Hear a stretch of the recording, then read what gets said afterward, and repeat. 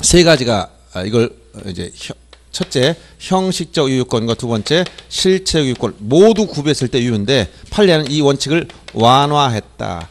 엄격하게 따지 않는다. 왜 그러냐면 우리나라 등기에 공신력도 없는데 조금이라도 위반됐다가 다 무효화시키면 거래 질서가 다 깨지는 거예요. 그래서 판례는 원칙을 엄격하게 따지 않고 완화시켰다. 이 완화시킨 태도가 세 가지가 있다. 그래서 첫째 중간 생략 등기 문제가 이게 제일 문제. 자, 중간 생략이라는 것은 유형이 예를 들어서 이렇게 A가 B한테 팔고 B가 C한테 팔았다. 그러면 등기도 어떻게 해야 돼?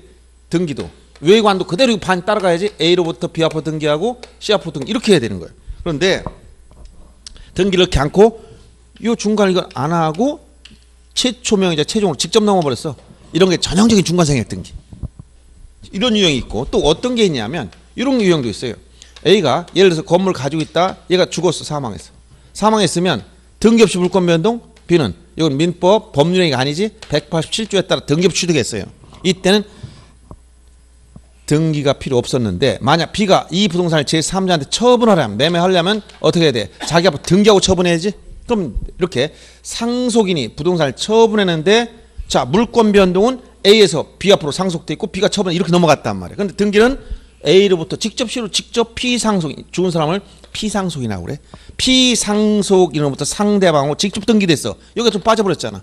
이것도 중간 생략 유형. 그다음에 또 어떤 게 있냐면 아까 모두 생략 등기 얘기 줬죠. 즉 건물 신축한 사람이 신축한 사람이 이걸 팔았는데 양도 했는데 양수인이 자기가 직접 여기서 뭐 했다 여기서? B 앞으로 무슨 등기 해봤어? 그냥 보존 등기를 하니까 앞이 생략됐어.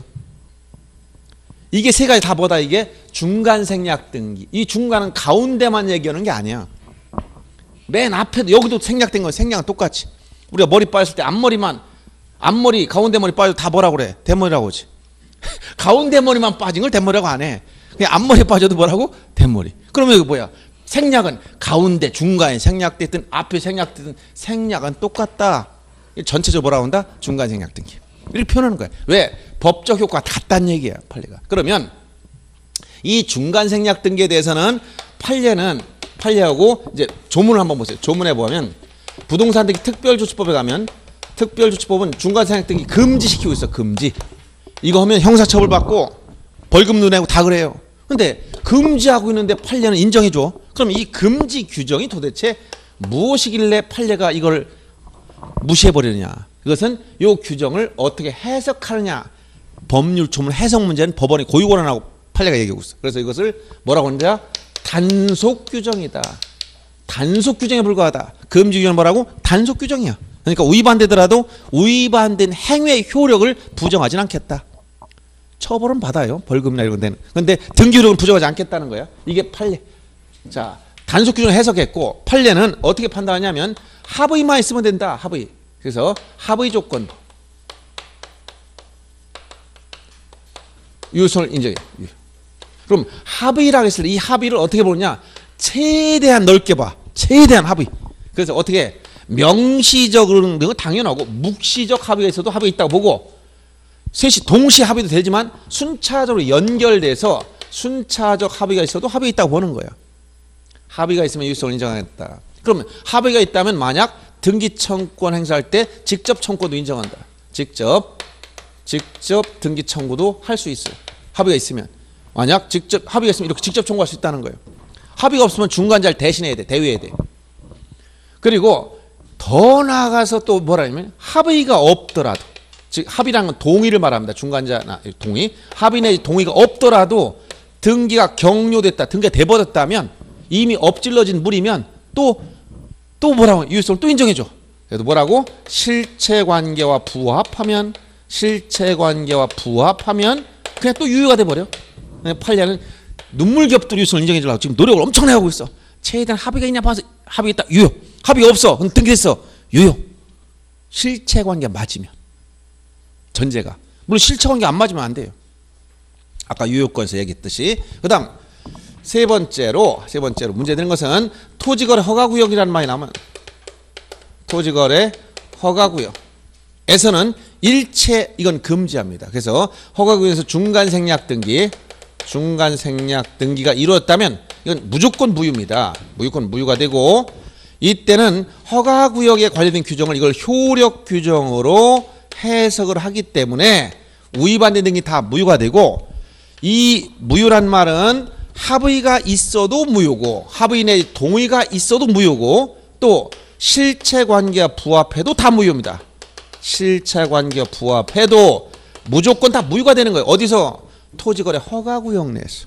그래서 허가구역이라는 말이 나오면 무조건 정답은 뒤에 무효입니다. 나머지 볼 거 없어요. 등기와 관련해서 허가구역이라는 표현이 나오면 무조건 무효만 찾으면 돼 정답.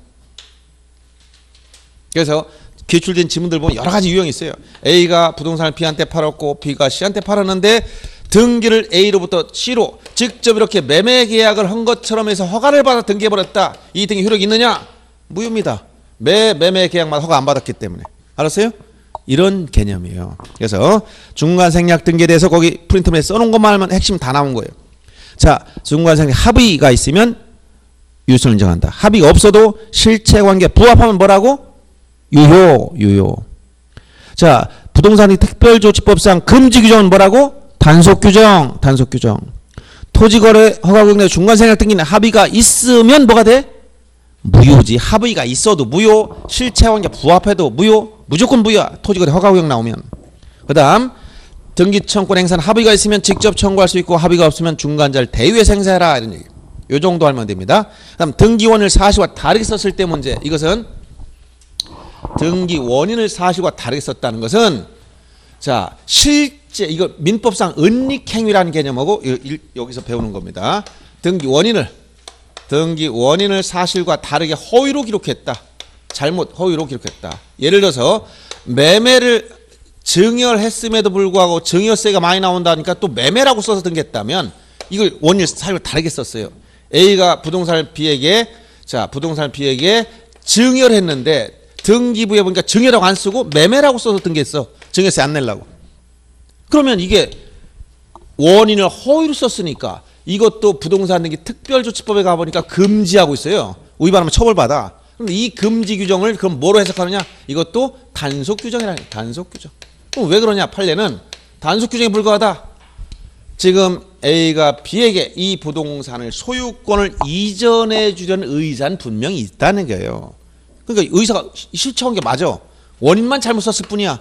그래도 소유권은 넘어간 걸이 등기 유효성을 인정해주고 다만 여기에 대한 처벌은 별개로 하고 이것은 단속 규정에 불과하니까 등기 효력은 부정하지 않겠다 이 얘기를 한 거예요. 그 다음 세 번째 문제가 무효등기 유용 문제입니다. 여기서 무효등기 유용이란 말은 자 아까 이제 이 요건을 다 충족해서 처음에 자 형식적 유효권과 실체 유효권을 모두 충족을 한 상태라는 것은 모두 충족했으면 이게 뭐가 된다? 유효가 된 상태를 전제를 해야 돼. 요 상태 전개. 무효등기 유용은 유효에서 출발하는 거지 처음부터 요건이 안 됐다면 그건 무효등기 유용이 아니야. 그래서 예를 들어서 아까 예를 들었던 거 보세요. A 소유 건물에 대해서 B로부터 돈을 빌리고 여기 저당권을 설정했다. 그럼 이 저당권은 요건을 충족했으면 유효가 된 겁니다. 즉 등기를 마쳤을 때 형식적 유효권과 실체 유효권을 다 구비해서 유효가 됐어. 이 저당권 등기 유효가 됐어. 등기를 마치면 접수한 때 효력이 발생한 거야. 객체도 맞고 명의자도 맞고 권리 종류 내용 양까지 다 맞았어. 그럼 유효가 된 거예요. 그러면 언제 이 등기 효력이 없어지느냐? 돈을 갚으면 효력이 없어져. 1억을 다 갚았어. 피담보채권 소멸했지? 그러면 뭐가 돼? 이 저당권은 돈을 다 갚으면 저당권 어떻게 된 거야? 무효가 됐지. 왜? 이건 어디에 따른 물권 변동이라고 했어요? 민법 187조 기타 법률 규정. 피담보채권 소멸했다는 물권은 등기 없이 소멸하는 거야. 그럼 돈 다 갚았으니까 이 저당권 소멸했어. 이게 무슨 등기라고? 무효의 등기. 무효의 등기. 무효의 등기인데 이 무효의 등기라면 어떻게 해야 되지? 효력이 없으니까 말소해야 되지. 말소하면 끝나요. 근데 말소하려고 했더니 갑자기 또 A가 뭐 교통사고나 돈이 또 필요해 또 빌렸어. 그럼 어떻게 돼? 자, 종전에 무효가 된 등기를 원래대로면 말소하고 새로 설정해 맞아요. 그렇지? 새로 관계 생겼으니까. 근데 이 무효가 등기를 새로 발생한 유사한 이 법률 관계 여기에 그냥 써버리겠다. 즉 유효이던 등기가 돈을 다 갚아서 무효가 됐다. 등기가 무효가 됐어. 그럼 말소해야 되는데 이 무효인 등기를 다시 써먹겠다. 이걸 뭐라고 한다? 무효 등기의 유용이다. 이렇게 유용이다. 써먹는다. 그러면 이런 것은 원래는 하면 안 되겠지. 왜? 무효라면 다 효력이 없으니까 말소하고 새로 하면 되는데 문제는 현실적으로 설정비가 또 많이 들어가요. 꽤 들어가 설정비가. 그러니까 이런 걸 아끼려고 뭐해? 그냥 써먹 우리끼리 써먹자 이게 될 수 있느냐 이 얘기야. 그래서 요 무효 유용에 대해서는 두 가지 나눠지는 거예요. 지금 갑구나 을구의 등기, 갑구나 을구의 등기에 대해서 이것은 갑구에 뭐가 있느냐면 등기부 갑구에 소유권 중에서 담보가 등기, 을구의 저당권 이렇게 담보가 등기나 저당 저 지금 저런 저당권 등기 같은 게 이런 것은 써먹을 수는 있어. 다만 이해관계인이 없어야 돼. 이해관계는 제3자. 등기상 이해관계 없다면 유효된다. 누구도 해칠 수가 없으니까. 예를 들어서 여기 후순위권자가 없어요. 누구도 해칠 수 없지. 그러니까 써먹어도 돼 이거는. 근데 만약 이- 요게 이순위권자 근저당권자가 있는데 이 상태에 이게 돈을 다 갚았어. 그럼 이거 소멸했지. 그럼 얘는 어디가 되는 거야 얘는. 순위가 승진대가 1순위 넘어간 거 올라간 거야. 그렇죠? 순위가 승진됐어 여기 근저당권자. 이게 소멸하면. 근데 이걸 말소하지 않다 또 써먹어. 그럼 얘는 또 뒤로 물러나야 되지. 이게 손해 보지. 이런 사람 뭐라고 한다? 등기상 이해관계. 이해관계 있으면 할 수 없어 이거는. 근데 이해관계는 이게 아무도 없어. 그럼 누구도 해칠 게 없잖아요. 써먹어도 된다. 이 얘기야. 그래서 여기서 이해관계는 없으면 이용할 수 있다. 이렇게 넘어가는 것이고. 그 다음 두 번째 표제부의 등기. 이것도 시험에 많이 나와. 표제부. 요 표제부의 등기에 대해서는 이것은 다른 말로 멸실 건물 등기부 유용. 멸실 건물의 멸실 건물 등기부 유용이다. 이렇게 얘기합니다. 이것은 자 어떠냐? 무슨 얘기냐면 건물이 멸실했다면 이것과 이제 상대로 이렇게 생각해 보세요. 상대적으로 자 건물 신축해서 신축해서 얘가 등기했습니다. 무슨 등기할까? 신축했으면 소유권 보존 등기를 해서 등기부를 만들어놨어. 표제를 개설하고 갑국의 소유권 보존 등기 해놨습니다. 근데 자 건물 신축해서 등기한 것을 자축하기 위해 친구들 을 불러다가 에, 파티를 열었는데 밤새 바베큐 파티 했더니 술 먹다가 다들 잠들었어. 근데 이게 불이 나서 그냥 타버렸네. 그래서 여기다 똑같은 아직 설계도도 그냥 그대로 또 줘봤어 이렇게 또 그 자리에다 또 줬어. 불에 나 불이 나서 다시 줬어 그 자리에다 면적도 같고 모양도 똑같아. 그러면 요 기존 멸실된 건물에 대한 이 보존 등기 이거를 신축한 건물에 여기다 쓰면 안 될까 이런 얘기 여기다 여기다 여기다 쓰면 안 될까 이런 얘기. 이게 뭐야? 멸실 건물 등기부를 신축 건물에 유용해 버릴까? 이거는 안 되느냐? 그랬을 때 판례는 이 멸실 건물 등기 유용은 절대로 안 된다. 왜 그러냐면 없어진 건물과 새로 생긴 건물은 동일성이 없다. 하얀 건물과 빨간 건물 완전히 다른 건물이라는 거야. 알았어요? 동일성이 없어. 그러니까 유용할 수 없다는 거야. 이건 이해관계 여부가 없어요. 무조건 안 되는 거야. 그래서 이거는 왜 이렇게 나왔냐면 이 판례가 나온 계기는 만약에 이렇게 된 거예요. 만약 이 갑이라는 사람이 건물을 가지고 있다 을로부터 은행에서 돈을 빌리고 은행에서 돈을 빌리고 나서 만약에 여기다 저당권 설정해 놨었는데 저당 설정해 놨었는데 중간에 갑의 이 농가주택이 불이 나서 없어졌어요. 그래서 다시 그 신축해서 여기다 그래가지고 이게 경매로 넘어가서 병이라는 사람이 낙찰 받아가지고 명도 청구했더니 갑이 나는 여기 호응 못하겠다 해가지고 이게 대법원까지 간 판례예요. 거기서 이 원고 요 피고 요 갑이 주장은 뭐냐? 나는 옛날에 은행에서 돈 빌리고 설정할 때는 그땐 처음에 한 거 맞고 중간에 우리 집 불나서 다시 져가지고 그냥 살고 있었다라고 주장하니까 법원에서 판사 가만히 들어보니까 어 이거 중요한 사실이 발견된 거야. 즉 건물이 있었다가 불이 나서 없었으면 건물이 멸실되면 모든 권리 다 소멸하는 거야. 등기없이 소멸. 민법 187조에 따라. 그러면 소멸된 건물에 난 저당권을 신축 건물에 적용할 수가 없지. 그러니까 이 건물 종류가 다른데 완전 다른 건물인데 멸실 건물 등기부 갖다 여기다 썼잖아요. 그러니까 이건 저당권 자, 저기 담, 어, 경매 자체가 자, 잘못된 거야. 그래서 여기에서 바로 이 판례가 나온 거예요. 멸실 건물 등기부를 신축 건물에 뭐 할 수 없다고 유용할 수가 없는 겁니다. 자, 요거 결론 두 가지입니다. 등기부 유용 문제. 자, 무효등 유용 문제는 담보가 등기나 저당권 등기는 이해관계 제3자가 없다면 이용할 수가 있다. 그럼 거꾸로 있다면 안 된다는 얘기죠. 조건부 요설. 그다음 멸실 건물 등기 비용은 이건 무조건 안 돼. 이해관계 여부 떠났으니까 안 되는 거. 일치 안 됩니다. 이렇게 두 가지 정리해 주면 돼요. 요거 이상 나올 게 없음. 자, 넘어가서 오늘 나눠 드린 거 이제 보시고 조금 제 말을 빨리 했습니다. 시작. 여러분들이 약간 졸고 있는 것 같아서 안 졸죠? 네. 다 알아들을 정도가 됐고 오늘 나눠준 거 폈습니까? 자, 제 2장에서는 시험 문제 나올 게 별로 없어요. 등기소 등기 관한 시험 문제 발- 거의 안 나온다고 보시면 되는데 일단은 나중에 다시 한번 또 정리해 줄 기회가 있고 등기부 문제만 잠깐 보겠습니다. 등기부. 자, 등기부는 아까 우리 아, 우리나라 등기의 특징에서 물적 편성주의를 취하고 있기 때문에 부동산 하나마다 등기부 몇 개를 만든다고 했어요? 하나씩 만들어. 그러나 그러나 여기서 등기부 특징 중에서 일반 토지 등기부나 건물 등기부 시험에 안 나옵니다. 나오면 전부 다 뭐다? 구분 건물, 즉 집합 건물 등기부만 나와요. 아파트 같은 경우. 자, 거기서 자, 부동산 하나면 등기부 하나 이게 물적 편성주의. 1부동산. 부동산 하나마다 1등기 기록. 이게 원칙이다. 그러면 이게 토지든 건물도 똑같아. 일 토지도 그렇고 건물도 똑같아. 그런데 이 건물 중에 뭐가 있냐? 집합 건물이 있다는 거예요. 우리가 집합 건물이라고 표현하는데 등기 오면 이걸 구분 건물이라고 해요. 구분. 구분 건물이 되려면 요건이 구주상 이용상 독립성이 있어야 되고 주관적으로 소유자가 구분 건물 하려는 의사가 있어야 돼요. 즉 구분 건물 등기하느냐 하느냐는 소유자 마음이야. 예를 들어서 비유하면 여기 원룸 건물 하셨어. 원룸. 요, 요즘 많이 원룸 건물 있지? 보통 원룸 방이 한 19개 만들어 놨다. 그럼 이거를 19개의 건물로 쪼개느냐 하나로 넣느냐 즉 다가구로 할 거냐 다세대로 할 거냐 이건 누구 마음이야?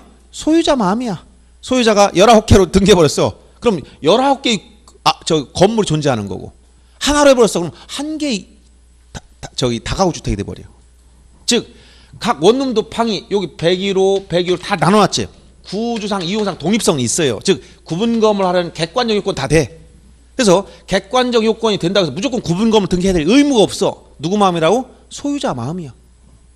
여기다 소유자 의사가 있어야만 구분 건물 되는 거예요. 그러면 이 전체를 하나의 부동산 일반 건물로 하게 되면 등기부는 간단해. 어떻게 표제부, 값, 월급만 만들면 끝나는 거야. 그러나 구분 건물 되면 달라져요. 구분 건물 되면 어떻게 달라진다? 구분 건물 등기부가 이것은 봐. 1부동산 1등기로 원칙이 여기 오면 뭐라고 표현하냐면 일동 전부, 일동 전부에 대해서 전부에 대해서 1등기 기록을 써요. 알았어요? 쉽게 얘기하면 여러분 이해하기 쉽게 보세요. 여기 3층짜리 빌라를 줬어. 3층 빌라. 여기 101호, 201호, 301호. 구주상 이용상 독립성이 있어. 이거를 이거를 구분 건물로 된다면 빌라니까 각 독립적이죠 이게? 그럼 이걸 등기할 때 일동 전 이 일동 전부에 대해서 1등기로 쓴단 말이에요. 그러니까 이것을 어떤 사람이 어, 주인이 나는 1, 2, 3층 일반 건물에서 그냥 살겠다. 그럼 그냥 만들면 돼 일반 건물로. 그럼 어떻게 만들면 돼? 표제부 값 월급만 계산하면 끝나. 근데 구분 건물 되면 뭐라고? 일동 전부에 대해서 1등기 기록을 써야 되니까 일동 전부에 대한 먼저 일동 표제부를 만들어야 돼. 이건 일동 전체 1층 면적, 2층 면적, 3층 면적 다 쓰고 일동 전체에 대한 표제부밖에 없어요. 그다음에 각각의 구분 건물마다 요 각각의 구분 건물마다 등기로 다시 또 만들어야 돼. 이 안에다가 표제부, 갑구, 을구 이건 어디? 101호. 200으로도 표제부, 갑구, 을구 다 개설해야 돼. 300으로도 표제부, 갑구, 을구 개설해 놓습니다. 이렇게 묶어서 이 전체를 뭐라고 한다? 1등기로 하는 거예요. 그래서 집합 건물 구분 건물에 가면 어디 한다고? 일동 전부에 대해서 1등기 기록을 만들어야 되기 때문에 형식상 보면 1부동산 1등기 기록의 원칙에 대한 예외라 이렇게 얘기해. 왜? 이건 몇개 부동산이야? 세 개의 부동산에 대해서 1등기로 쓰니까 1부동산 1등기 기록에 대한 예외다. 그러나 실제적으로 들어가 보니까 실질적으로는 매 구분 건물마다 모두 표제부 갑골을 다 만들어 놨기 때문에 1부동산 1등기 기록의 원칙을 지키고 있다 이렇게 얘기하는 거예요. 외관상은 아닌 것 같지만 실질은 지키고 있다 이렇게 표현을 쓰는 거예요. 그런데 요게 등기부를 이렇게 만들 때 등기부를 등기기를 편성할 땐 이런데 편성할 땐 장부 공개 공개란 것은 등기상 증명서를 발급해 주거나 등기부 등본이란 말은 안 써요. 근데 보통 부동산 그 어, 프로그램에는 그냥 등기부 등본상 이상 없음 막 이런 말이 나오지만 현재는 용어는 등기상 증명서입니다. 등기상 증명서를 발급하거나 열람할 때 등기를 열람할 때는 이 공개할 때는 이때는 또 1등기 기록은 1등기 기록은 별도 따로 등기 규칙에 따로 여기다 규정하고 있어요. 즉 구분 건물에 가면 일동 전부에 대해서 1등기 기록을 쓴다. 등기 이렇게 만든다. 근데 장부 공개할 때 이게 아니라는 거예요, 또. 그럼 이건 일동 전부에 대해서 1등기를 써서 만약 요 빌라에 대해서 등기상 증명서를 발급하거나 열람한다 그러면 이 전체를 1등기로 다 내줘야 되는데 불필요한 게 너무 많잖아요. 그럴 때는 만약에 요 301호에 대한 등기상 증명서를 발급하거나 열람 신청했다 요거만 주면 되는 거예요 원래는 그래서 요때 등기 기록을 공개할 때는 1등기 기록은 뭐라고 표현하냐면 이때는 일동 전체의 표제부는 일동 전체의 표제부는 모두 공통이니까 이건 다 따라다니는 거예요 요건 요건 다 따라다녀 그리고 여기다가 지금 본인이 원하는 게 뭐냐 해당 해당 구분 건물 즉 해당 전유 부분 전유 부분에 대한 등기 기록을 묶어서 이건 규칙에 가보면 1등기로 본다라고 따로 규정하고 있어요. 요거 말면 됩니다. 아셨어요? 그래서 그 프린트물 보세요. 거기 제가 가로친 부분 전부 다 원래 여러분 채워놔야 되는데 나중에 보면 못 채워서 다 써놓은 거예요. 자, 구분 건물에 들어가면 일동에 속하는 전부에 대해서 1등기를 사용해라. 그래서 형식상 1부동산 1등기 기록의 원칙이 예외지만 실질적으로는 예외는 아니다 라고 얘기한 거고. 그래서 구분 건물 등기록은 일동 1등기로란 일동 표제부와 각 각의 구분 건물 등기록을 전부 다 묶어서 1등기로다라고 표현한 거야. 근데 거기 보면 단 구분 건물에 대한 등기상 증명서 발급이나 열람에 관해서는 일동 건물 표제부와 해당 전유 부분에 관한 등기록을 일, 한 개의 등기로 본다라고 규칙 30조 3항에 규정하고 있는 거예요. 요것만 구별할 줄 알면 됩니다. 자, 이 내용이 여러분 책에선 45페이지, 45페이지 맨 위에 보면 45페이지 맨 위에 나온 그 내용, 그 정도만 알면 돼요. 아셨죠? 나머지는 넘어갑니다, 지금. 지금 다 안 봐도 되고. 그 다음에 어디 넘어가냐면 제 3장 넘어갑니다.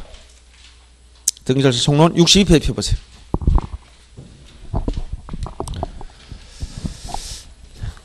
거기서 등기 절차의 개시, 등기 절차의 개시. 자, 이 부분을 이해를 잘해야 돼요. 여기도 중요합니다. 등기에서 등기 절차의 개시라는 것은 뭐냐? 등기소에서 등기관이 등기를 시작하는 계기가 뭐냐? 이걸 뭐라고 한다? 등기 절차 개시. 직접적으로 등기를 하게 된 계기를 물어보는 거예요. 등기관은 자 보세요. 우리가 등기관은 개인 간의 거래 관계에서 자 매매를 했다. 이게 법률 행위였습니다. 법률에 따른 물권 변동세를 하면 등기를 해야 돼. 등기를 하면 당사자가 등기를 어떻게 된다? 신청을 해줘야 돼. 그러면 이 등기수에는 등기관이 등기부에 뭘 기록하려면 등기해 주세요라고 얘기해야 된다는 거 이게 뭐야? 신청. 이거 해야만 움직여. 신청하지 않으면 안 움직여요. 알았어요? 그러면 이 등기수에 등기하는 계기는 이 신청만 있느냐? 이 신청이 일반적이지만 주체가 관공서라면 용어를 신청하면 안 써요. 이때는 촉탁. 용어를 촉탁이라는 거죠. 촉탁이란 주체가 관공서, 국가나 지자체 같은 관공서일 때는 용어를 뭐라고 한다? 촉탁이라는 말 쓰는 거예요. 우리 지적에 등기 촉탁 배웠죠. 소관청이 시장군수청장이 등기 해주는 걸 촉탁이라고 했어요. 그 다음에 그래서 이게 원칙이야. 신청 또는 촉탁에 따라 등기 절차는 시작된다.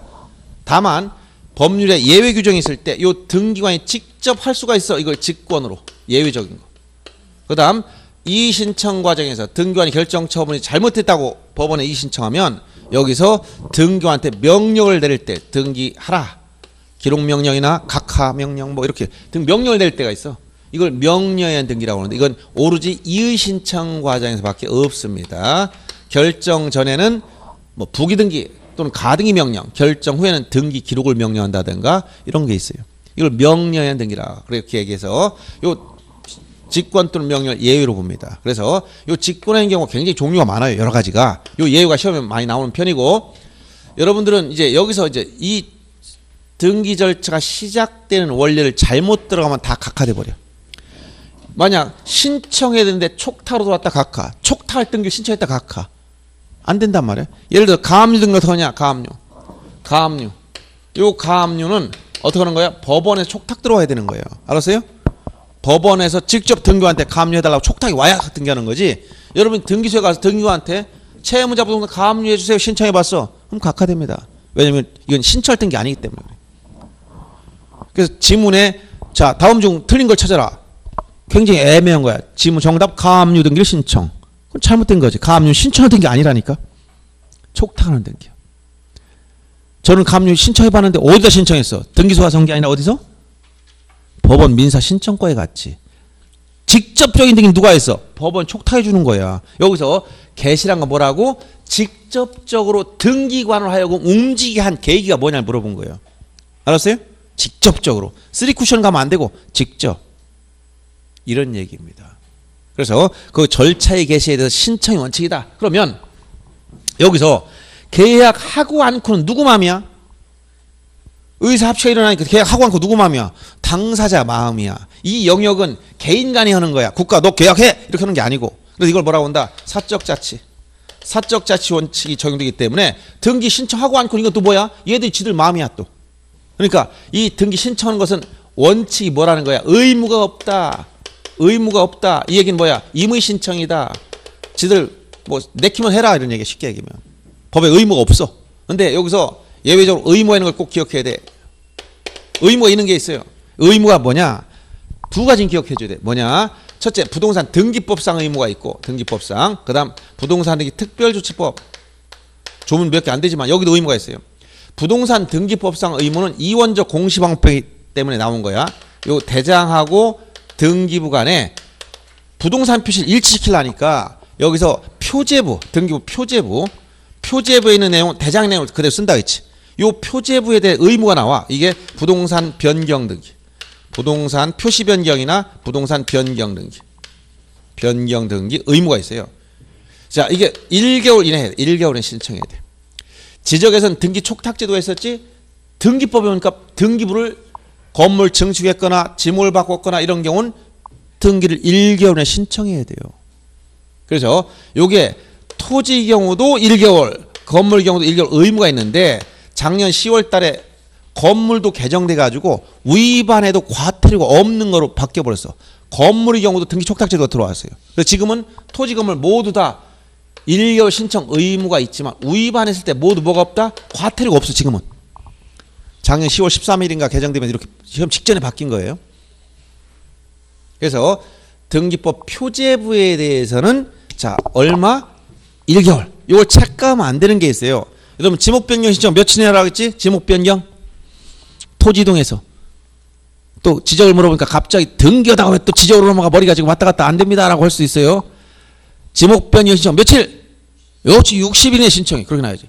뭐만 등록 말소만 90일이었었죠. 그러면 지목 변경이 생겼으면 지적에서는 토지 이동 신청을 즉 여러분이 구청장 구, 여기 아, 대전 같으면 뭐 서구청장한테 가서 지목 변경하러 왔습니다. 며칠에 60일 신청해야 돼. 그런데 부동산 등기법에 가면 요 대전지방법원 등과에 가선 변경 등 신청해야 돼. 몇, 몇 얼마 이내? 1개월. 알았어요? 60일이 아니야. 등기법상 의무는 뭐라고? 1개월이야. 1개월. 이거 착각하면 안 돼.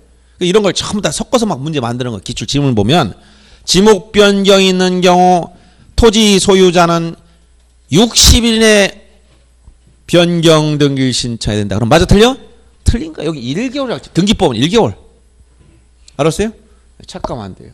그리고 여기 모두 다 지금 과태료가 없어. 다 바뀌었어. 그런데 이건 부동산 등기법의 의무야. 그런데 부동산 등기 특별조치법 하면 의무가 있는 게 있어. 어떤 거냐? 중요한 등기에 대해서.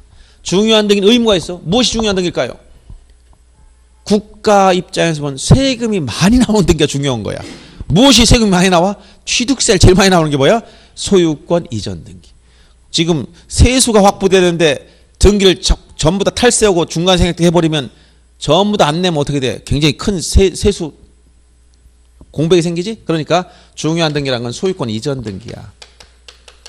소유권 이전 등기는 의무가 생겨 어, 얼마 60일 이내 신청해야 돼 60일 이내 근데 요게 기산일이 시험 문제 나옵니다. 자, 먼저 쌍무계약, 쌍무계약 이거 뭐야? 쌍무계약 매매 같은 경우죠. 유상계약이 전형 매매. 쌍무계약은 언제부터 60일에 신청하느냐? 언제부터 등기해야 돼? 세법 시간에도 비슷한 말 본 들었을 것 같은데. 자, 쌍무계약은 언제부터 등기 신청해야 될 의무가 생길까요? 상식적으로 생각해보세요. 언제부터 등기해야 돼? 계약하면 등기해야 돼? 잔금을 줘야지 잔금. 그래서 잔금한 준 날부터 따지는 건데 이게 뭐냐? 조문상은 반대급부 이행이 완료된 날, 반대급부 이행이 완료된 날. 이게 무슨 날이라고 이게 잔금 지급일. 잔금 지급한 날 법률 조문에 뭐라고 나왔다고요? 반대급부 이행이 완료된 날로부터 60일에 등기 신청해야 돼. 그럼 편무계약 부담 없는 증여 같은 거, 부담 없는 증여 같은 거. 이땐 언제부터 등기해야 된다? 예를 들어서 이번에 시험에 합격하면 상가 건물 하나 사줄게요라고 아저씨가 얘기했어. 그럼 빨리 빨리 등기해줘 이렇게 얘기할 수 있습니까? 증여 여러분 그 주겠다 했으면 오케이 할까? 난아 증여 안 받겠다 그럴까? 상가 건물 사주겠다 했어. 그럼 여러분 사주세요 오케이 할까? 거절할까? 아 준다는데 싫다는 사람 어디 있어? 근데 지금 준다 했어요? 시험에 합격하면 준다 했지. 그럼 그게 뭐야? 조건 보험유행이가 됐어. 저 무슨 조건이 붙었어? 정지 조건. 시험에 합격하면 조건이 성취되어야만 효력이 발생해. 계약은 지금 성립됐어 안 됐어? 계약은 성립됐잖아. 청약과 승낙 의사 표시했으면 계약은 성립. 증여계약 성립됐지? 준다 했으면 여러분 탈락했잖아요. 오케이 했지? 계약은 성립됐어. 근데 효력은 안 생겼어. 왜? 조건이 붙어 있어서. 조건 법률행위니까. 그러면 지금 달라고 못하고 언제 달라고 한다고? 등기 달라고 하려면 합격해야지. 조건이 성취돼야 돼. 그래서 이런 증여 같은 경우 언제부터 등기 의무가 발생하냐 물어보면 계약의 요 증여계약 효력 계약의 증여계약의 효력이 발생된다. 효력이 발생한 날부터 따집니다. 성립한 날이 아니고 뭐라고? 효력이 발생한 날. 효력이 발생한 날부터 60일에 등기해야 돼. 그래서 요거 기산일 반드시 알아둬야 됩니다. 기본적인 가장 기초인 거니까. 자, 소유권 이전 등기는 60일에 신청하라. 언제부터냐? 매매 같은 경우는 반대급부행이 완료된 날인 잔금지급로부터 증여 같은 경우는 계약의 효력이 발생한 날로부터 60일 이내에 신청해야 되고 만약 위반하면 산출된 세액의 5배 이하의 과태료가 나와요. 여기는. 이게 셉니다. 그 다음에 소유권 이전 등기가 아니라 소유권 보존 등기. 보존 등기는 이것은 원칙적으로 임의 신청이야. 즉 임의 신청이라는 것은 신청 의무가 없다는 얘기예요. 여러분 건물 신축했어요. 등기할 의무가 있어 없어? 없어. 그냥 죽을 때까지 살다 가도 돼요. 아무런 의미가 없어. 삼성 본사 건물 등기 보증 등기 했다 안 했다 안 했다고 했어요. 왜 안 했어요? 의무가 없으니까. 그럼 등기하려면 뭐가 나요? 취득세 엄청나게 내야지. 그 빌딩 등기하려면 수백억을 국가에 세금을 내야 되는데 걔들이 그걸 등기 안 했다고 해서 위반된 겁니까? 의무가 없으니까 할 필요가 없어요. 자 그래서 보조등 원칙 의무가 없어. 그러나 예외적으로 의무가 나와. 예외적 의무가 있는데 이건 60일 신청해야 돼. 뭐냐? 소유권을 이전하는 계약을 체결하면 소유권 이전하는 계약 체결하면 뭐가 나와? 보존 등기부터 해야 돼. 예를 들어서 자 건물 신축했다. 신축했어. 그럼 이, 이거 보존 등기 해야 된다 안 해야 된다? 의무가 없어. 근데 이걸 B한테 팔아먹었어. 매매 계약을 체결해서 매매. 그럼 의무가 나와. 뭐부터 하라? 보존 등기부터 해야 돼. 알았어요? 요때 기산이 또 중요해 이것도. 만약 요 매매 계약을 체결한 게 언제냐? 자, 먼저 첫째. 요게 2월 지금 2018 2월 14일 날 매매 계약 체결했어요. 건물 언제 완성되느냐? 1월 10일 날 건물 졌어. 신축했어. 그럼 언제부터 보존 등기해야 돼? 이런 경우라면 언제부터 보존 등기해야 돼? 건물 신축한 날부터 하는 게 아니라 그럼 만약 이게 만약 이렇게 18년 이게 2015년도 1월 10일 날 건물 신축해서 그럼 이때부터 했어야 돼?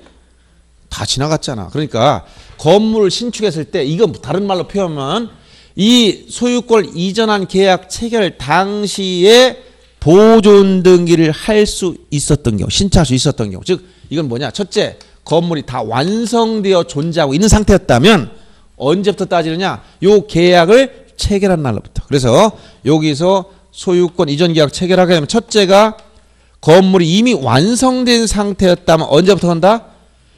소유권 이자, 이전하는 계약을 체결한 날, 체결한 날로부터 60일 이내에 뭐부터 해야 돼? 소유권 보존 등기를 신청해야 된다는 거예요.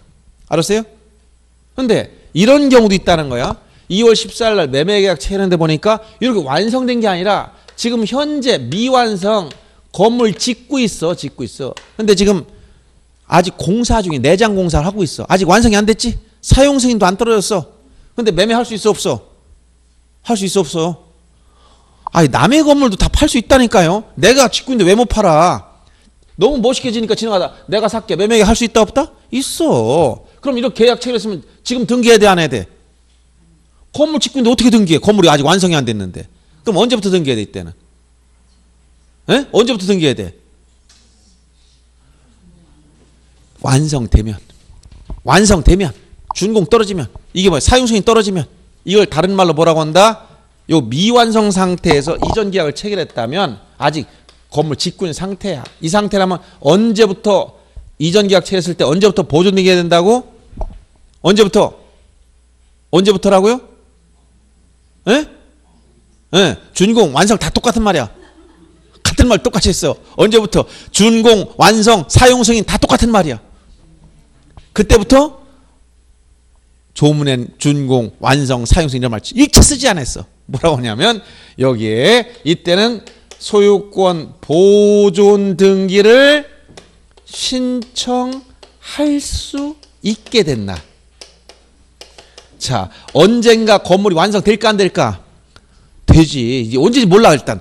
보존 등기를 신청할 수 있게 된 날로부터 60일 내 보존 등기 신청해야 돼. 미완성 건물이었다면. 알았어요?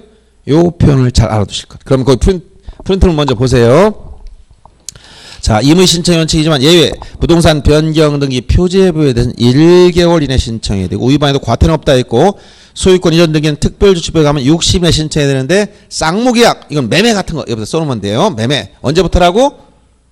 반대급 부행이 완료된 날. 편무계약 증여 같은 거 언제부터라고? 계약의 효력이 발생한 날. 성립한 날이 아니고 효력이 발생한 날이에요.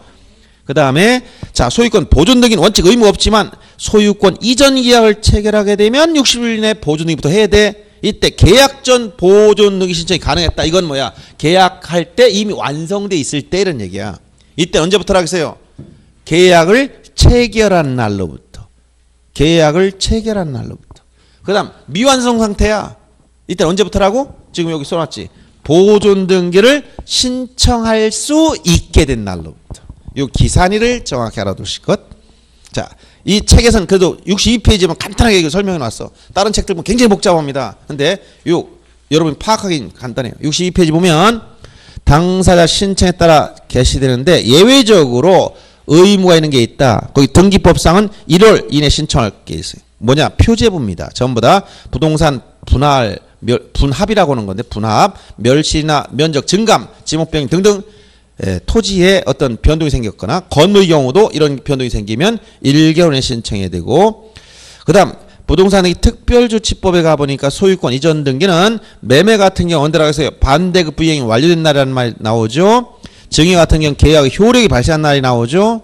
그 다음 2번 소유권 보존 등기는 거기 보면 소유권 이전하는 계약을 체결했을 때만 의무가 나와. 이게 없으면 의무 없다고 했어요. 자, 이때 미등기 부동산을 매도한 의무자는 자, 요거는 계약 체결 당시 보존 등기가 가능한 경우라는 것은 건물이 완성되어 있을 때는 계약을 체결한 날로부터가 기산일이 되는 것이고 체결 당시 보존 등기 불가능 즉 미완성 상태였다면 보존 등기를 신청할 수 있게 된 날이 정확한 표현입니다. 보존 등기 신청 있게 된 날. 조문에 이렇게 나와 있으니까 그걸 알아두시면 돼. 넘어가서 이렇게만 일단 알아두시면 절차 개시 중에서 그 다음에 다음에 어딜 보냐면 이제 여기 다음에 보실 것이 여러분 책에서는 67페이지 펴놓으시고 일단 절차의 개시 중 이 신청 이걸 잘 봐요. 신청 이걸 봤고 그 다음에 보실 것이 요 시험에 자주 나오는 그 다음에 당사자 능력 문제요. 당사자 능력 문제. 이것은 등기 명의인이 될 수 있는 자격이다. 여기서 당사자가 신청하는데 절차에 계시는 자 신청할 때 누가 신청하냐? 당사자가 신청한다. 제3자가 아니라 당사자 신청한다. 당사 신청할 때 당사 능력이 있느냐? 적격 있느냐? 이러면 그래서 당사자 능력 내지 당사 적격이라는 거 이거 시험에 자주 나와요. 당사 능력 내지 당사 적격. 이건 무슨 말이냐 등기 명의인이 될 수 있는 법률상 자격이다 등기 명의인이 될 수 있는 자격을 말합니다 예를 들어서 어제 엊그저께 뭐 북한 에, 뭐 공연 와가지고 우리나라 아, 걸그룹 중 누가 갑자기 차출돼서 같이 뭐 공연도 하고 그랬어요. 옛날에 에, 소녀시대 좋아하던 사람들은 뭐 걸그룹 누가 좋아하는 사람도 있었어. 그래서 자기도 항상 어떤 걸그룹 멤버를 좋아하면 강아지를 기를 때 어, 강아지 이름도 걸그룹 이름 붙여가지고 누구야 누구야 부르면 지난 사람이 있어? 애완견. 그래서 자기가 그 걸그룹 이름 하나 붙여서 애완견 이름 쳐줬어. 근데 갑자기 오피스를 살 일이 있어서 이걸 내 이름을 하면 여러 가지 그래서 걸그룹 애완견 앞으로 이름 붙여 등기 한번 해줄까? 이게 된다면 하면 돼. 그 이게 바로 뭐야? 당사자 적격 있느냐? 적격 있으면 애완견 앞으로 걸그룹 이름 앞으로 해줘도 돼요? 될 수 있느냐? 될 수 있을까 없을까? 이 문제야 이게. 알았습니까? 그래서 그럼 여기 잘 보세요. 등기 명의 대신 법률상 자격이라 했는데 등기란 부동산에 대한 공시 방법이고 명의자란 건 귀속 주체를 말하는 거예요. 귀속 주체.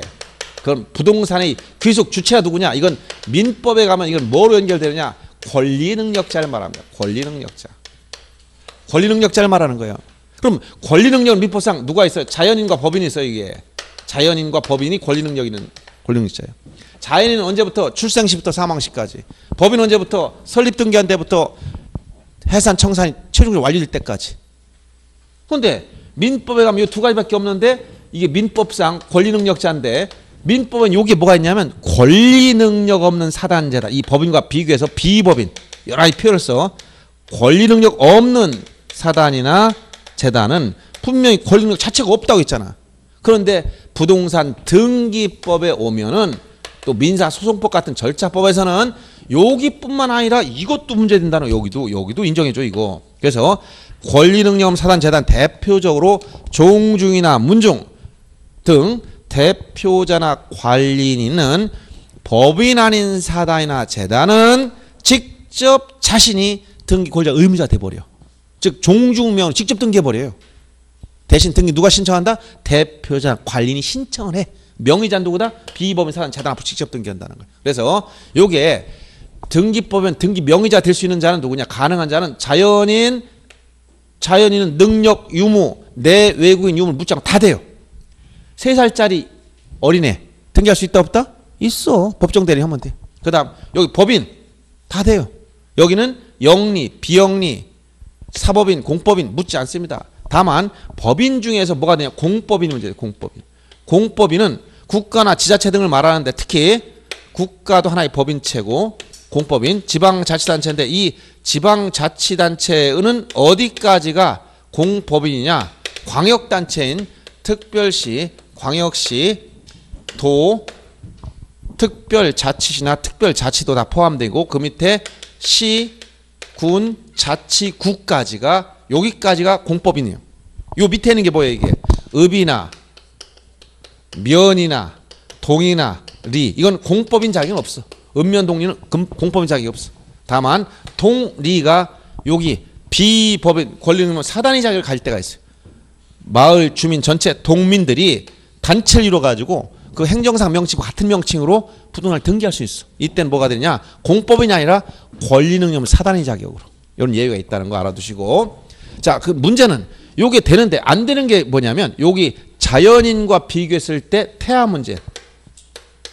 태아는 자연인이 아니죠. 태아가 뭐야? 태아가 언제부터 자연이라고 했어요? 출생 시부터 사망 시까지.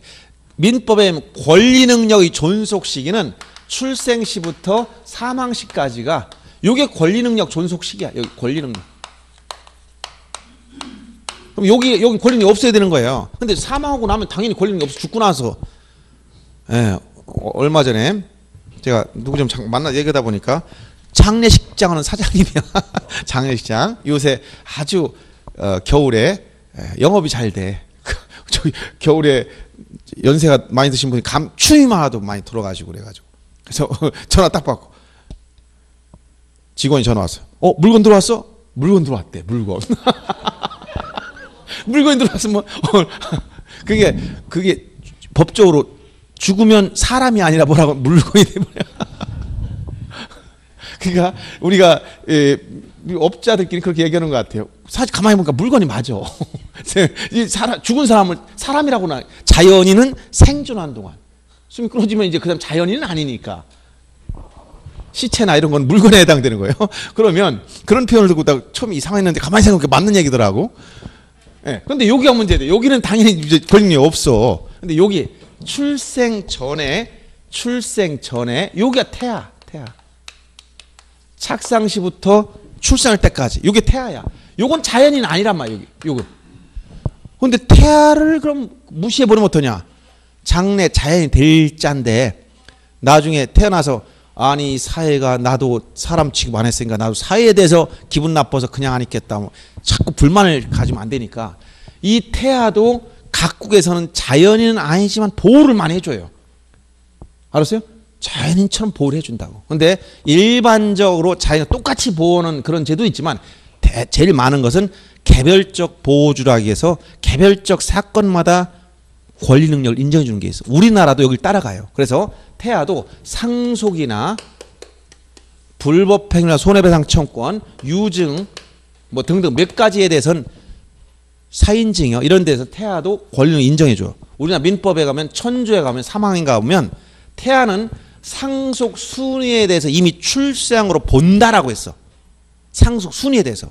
그러면 만약 감남과 을려 사이에 여기 A라는 태아가 있어. 아직 태아. 출생 안 했어.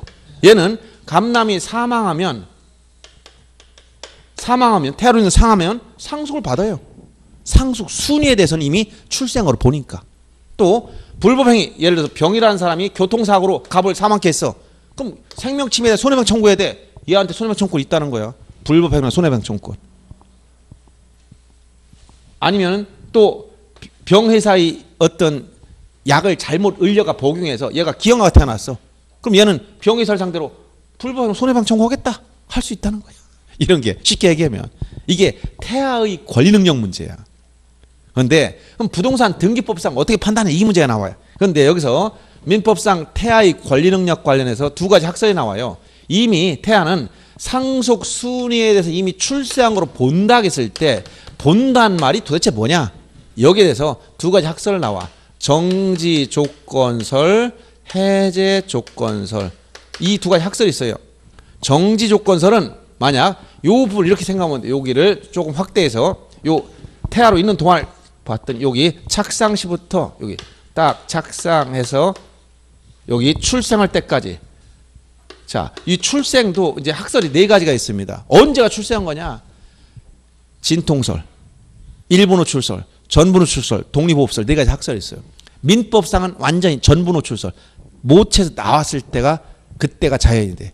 독립호흡은 지가 나와 지가 울고 지가 폐로 호- 호흡해야 된다는 얘기고. 근데 형법상은 언제부터 여기 사람으로 보느냐? 진통시.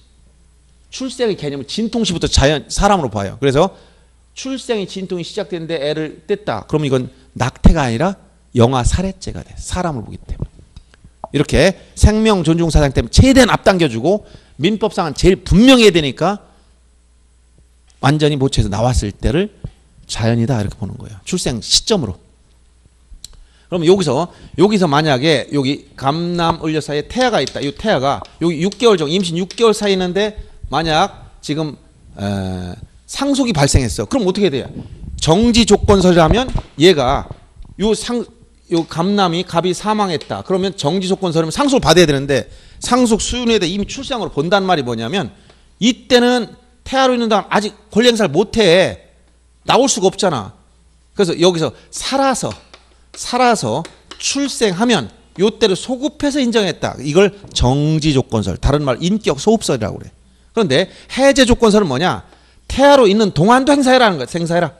이거 해제 조건설. 즉 해제 조건설에 따르면 이 정지 조건설과 달리 해제 조건설은 태아로 있는 동안도 인정해 줘. 근데 만약 얘가 사산돼 버리면 죽어서 태어나면 사산돼 버리면 소급해서 없애 버리겠다는 거예요. 알았어요? 개념이? 그럼 태아로 있는 동안도 권리 행사할 수 있는 학설은 뭐다? 해제 조건설이지만 판례는 이 정지 조건설을 따라간다는 거예요. 왜 그러냐?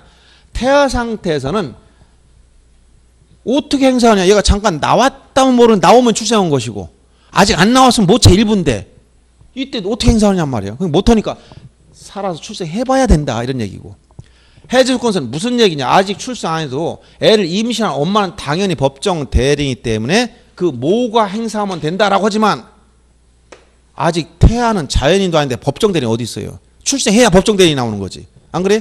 그래서 이런 문제가 있기 때문에 학설 대리 믿는 거예요. 근데 판례에 따르면 요 정지 조건을 따라가서 태아 상태에서는 권리 행사 못 한다. 살아서 출생해야만 소급적으로 인정해 주겠다 이런 얘기야. 그러면 지금 여기서 등기에서는 태아 상태 태아 앞으로 등기할 수 있느냐? 이름은 지어놓을 수가 있지. 예를 들어서 감남원료 사이에 여기 이름은 적어놨어요. 3대 독자 동방사 이름 적어놨다. 오래 살아라. 동방사. 삼천갑자 동방사이라고 적어놨어. 동방사 앞으로 등기하려고 갔습니다. 등기는 뭘 가져오라고 할까요? 빌딩 이 빌딩 사주려고 그래. 뭐 가져요? 등본 가져야 돼. 등본 있어 없어? 등본 가져갈 수 있어 없어요? 없지. 언제 나와 등본이? 출생신고 해야 나오지. 지금 이 상태에서 이름 졌다고 해서 등본 만들어줘요? 안 되잖아. 그러니까 태아 상태는 등기할 수 있다 없다? 없다. 이게 뭐야? 정지 조건서를 취하는 판례 입장. 그래서 여기 자연인 관련해서 지금 태아는 태아는 된다 안 된다? 안 된다. 정지 조건서를 취하는 판례 입장에 따라. 알았어요? 그다음 법인은 아니지만 어떤 단체 모양 비슷한 게 있어요. 그게 뭐냐? 법인은 아니지만 민법상 조합 문제. 민법상 조합 문제. 자, 이것은 민법상 조합은 단체성이 약해요. 그러니까 조합 이름을 등기 못 한다는 거야. 그러면 어떻게 되냐? 민법상 조합은 조합원, 조합원이 자연이니까 조합원 명의로 등기하되 합유 등기라 합유자라고 써주는 거, 합유. 합유라는 말이 등기부에 들어가면 이건 민법상 조합입니다. 합유. 합유라는 말이 들어갔다. 민법상 조합이요. 그래서 민법상 조합 이름으로는 못하지만 조합원명으로 등기해버리고 이때 등기할 때는 합유 지분은 등기상이 아닙니다. 지분은 등기하지 않아요. 이걸 꼭 기억해 주면 되겠고 다만 민법상 조합이 아닌 특별법상 조합은 예외입니다. 특별법상 조합은 예를 들어서 농협협동조합, 수산업협동조합, 신유협동조합 이런 것은 특별법에 따라 설립된 특수법인체, 특수법인. 특수법인이니까 당연히 법인 앞 등기하는 거예요, 이거는. 여기서 여러분 조합이란 말이 붙었다고 해서 이게 다 조합이 아니야. 민법상 조합은 뭐 동업을 위해서 뭘 계약을 했다든가 또는 개를 조직한다든가 이런 것이 민법상 조합의 형태예요.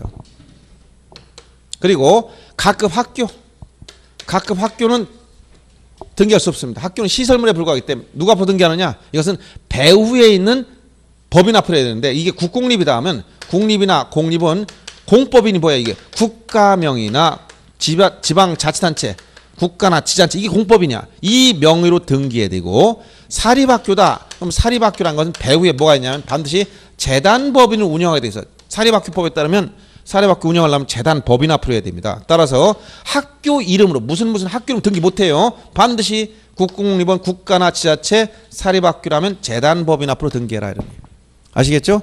그 다음에 등록 안 된 사찰 같은 경우는 이것은 주지 개인 앞으로기 때문에 전통 사찰 보존법에 따라 등록이 안 된 사찰은 사찰 이름으로 등기를 못한다 이런 얘기예요. 그래서 여러분 프린트물에 거기 2페이지 다음 페이지 넘겨보면 당사자 능력 적격 문제 정리 나왔어요. 왼쪽에 인정되는 거 자연인, 법인, 권리능력 사단재단 특히 세 번째 권리능력 사단재단이 제일 중요합니다. 시험에 자주 나와요. 민법상 총유라고 하지만 총유 등기 자체가 없어요. 즉 종중명 직접 등기해 버린다는 거예요. 부정되는 게 태아 정지 조건설 따를 때 그다음에 각급 학교 이거는 국공립은 지자체 국가나 지자체 명의로 사립학교는 재단 명의로 앞으로 오면 됩니다. 민법상 조합은 조합원 명의로 합의 등기하기 때문에 적격이 없는 것이고 등록안내 사찰도 할 수 없어요. 예제를 보면 아까 동우리는 공법인 자격은 없지만 권리 능력 없는 사단위 자격을 할수 있다라고 했고 그 다음에 인가 취된 주택조합 같은 경우는 적격이 있습니다. 여기서 이건 어떤 자격이 있느냐? 비법인 즉 권리 능력 없는 사단으로 등기해 버려. 인가 여부와 관련이 없어요. 즉 권리 능력 없는 사단은 인가 여부와 무관합니다. 그래서 인가 취소된 주택조합도 적격 인정되고 다만 서울특별시 사후대책본부 같은 경우는 적격이 없습니다. 서울특별시가 공법인이지 그 사후대책본부는 적격이 없어. 여러분은 지- 적격 있나요? 여러분들 적격 있어요 없어요? 있지. 왜? 자연이니까. 그런데 여러분 중에 제일 중요한 기관이 어디예요? 여러분 중에서 제일 중요한 기관. 나는 머리가 중요하다, 심장이 중요하다, 눈이 중요하다. 어, 그러면 여러분 난 머리가 중요하면 여러분 머리 앞으로 등기할 수 있어요? 머리 앞으로. 홍길동이 머리, 홍길동이 심장 등기할 수 있어 없어? 못하지? 그건 하나의 부분에 불과한 거야. 그래서 서울특별시는 공법원이지만 그 하나의 기관 앞으로 등기 못한다는 얘기야. 서울특별시 사고대책본부는 적격 없다 이런 얘기입니다. 그걸 이해를 잘 하시면 돼요. 자, 이 내용이 여러분들 책에서는 지금 67페이지에 보면 적격해서 나온 게 자, 그러면 첫째 원칙 자연인은 적격 인정된다. 자기 앞으로 등기할 수 있습니다. 외국인도 다 되고 법인도 당연히 됩니다. 그런데 거기 보면 자, 적격이 문제되는 자 중에서 태아 아까 태아는 뭐라고 했어요? 정지 조건설 취하는 태아의 저기 판례에 따르면 적격을 부인한다 있고 권리 능력 없는 사단자 이게 제일 중요한 겁니다. 이건 당연히 인정되는 겁니다. 등기법에 보면 그래서 등기법에 거기 보면 부동산 등기법은 종중, 문중, 기타 대표자나 관리는 법인 아닌 사단이나 재단에 속하는 부동산 등기에 관해서는 자 밑줄 칩니다. 뭐라고 했어? 그 사단 또는 재단을 권자 의무자로 한다라고 규정했다는 거야. 근데 등기 신청 누가 하느냐? 대표자나 관리인이 신청만 하면 돼요. 그 다음에 오른쪽 학교 적격이 없습니다. 학교 적격이 없고 거기 권리능력 사단재단의 등기 사례에 보면 아까 아파트 입주자 대표 같은 거 봐두시고 그 다음에 거기 주무관청으로부터 인가 취소된 주택조합도 여기 해당된다 있고 근데 보면은 거기에 에, 주의할 게 특수법인 특별법상 조합은 이건 법인이기 때문에 에, 법인 앞에 등기하는 겁니다. 그리고 어 거기 표현이 없지만 아까 서울특별시 사고대책본부 같은 건 그 밑에 민법상 조합에 가면 그 표현이 됐을 수 있어요. 민법상 조합. 자, 그럼 거기 보면 학교 같은 경우는 학교면 등기할 수 없다 했죠. 그래서 국공립학교나 아, 이런 사립학교는 각각 배후에 있는 법인 앞으로 해야 된다 했고 민법상 조합 적격이 없어서 조합원명을 합의 등기하라고 했어. 그리고 거기 특별법상 조합은 법인체이기 때문에 이거는 민법상 조합이 아닙니다. 그럼 밑에 예실 보세요. 종주명 등기된 거. 자, 보면 거기 접수해 가지고 쭉 부동산 피시 다음 피 넘어가 보면 소유권에 관한 사항 보면 거기 갑구의 권자 및 기타 사항 내 보니까 소유자가 누구냐? 달성 석씨 무슨 무슨 파 이렇게 나왔죠. 이거는 종중이란 말 종중. 종중 앞으로 등기해 버려. 근데 종중이 명의자가 됐는데 거기에 보면 부동산 등기용 등록번호가 사무소 소재지가 나와 있고 대표자 이름이 나와 있죠. 대표자도 같이 써줍니다. 그래서 명의자는 종중이지만 대표자를 써줘. 다만 종중 같은 경우 대표자를 써주지만 법인은 이 대표자는 쓸까 안 쓸까? 법인은 등기부에 대표자 써줄까 안 써줄까? 대표자를 쓰지 않습니다. 왜 안 쓴다? 법인만 들어가. 이유는 법인 대표자는 누구나 알 수 있다 없다? 법인 설립 등기됐기 때문에 법인 등기상 증명서를 보면 다 나와요. 근데 종중 대표자는 뭘 봐야 알 수 있어? 종중 대표자. 예? 뭘 보면 알 수 있어? 종중 대표자. 일반인들이 예를 들어서 여기 서씨 대표자가 누군지 어떻게 알아? 모르잖아요. 그러니까 종중 대표자는 등기부에 등기상으로 들어가요. 근데 법인 대표자는 등기상이 될 수가 없어. 왜? 법인 등기부가 따로 있어요. 누구나 볼 수 있어. 근데 종중 대표는 아무도 알 수 없어. 왜? 그 종중의 족보를 다 연구해야 되는데 그 누가 알겠어요. 그러니까 국가에 관리해주지 않지. 그러니까 등기부 자체에 종중 대표자를 쓰게 돼 있단 말이에요. 인적상. 그걸 구별해서 알아두시라는 얘기입니다.